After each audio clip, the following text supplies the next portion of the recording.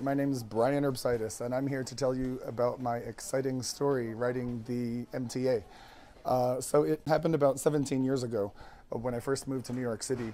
It was uh, Halloween, and I was going out for the Halloween parade, and I decided, as a young gay man moving to New York City, that it would be exciting to go out in drag.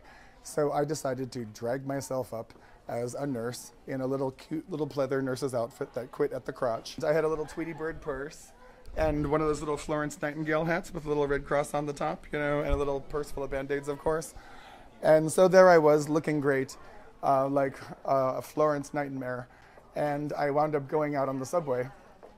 And there were some guys on the subway, you know, who maybe because I was in a certain part of town, like the Upper West Side, like around 110, Central Park West, they were sort of giving me the business. They were calling me Lamar. I didn't even realize that Lamar was the gay guy from Re- Revenge of the Nerds until I got home later that night. But you know, just people saying stuff. I guess they're not used to seeing drag queens on the subway. But then the worst part of the story is, um, you know, I went out, I had a great time, and you'd think that sounds good, right? Um, but I wound up meeting this guy, and he was cute. I, you know, I don't really remember his name.